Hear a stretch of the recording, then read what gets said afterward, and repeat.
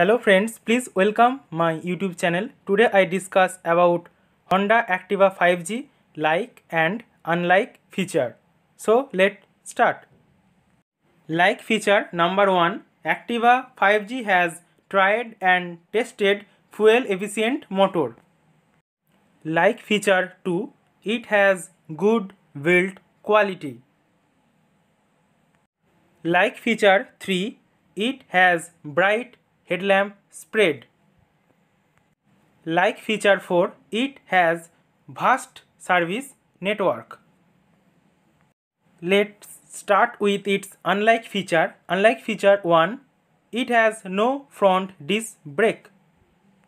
Unlike feature 2, design feels a bit dated. Unlike feature 3, stiff ride quality without a pillion. Thank you for watching this video. If you like then please share and subscribe my channel.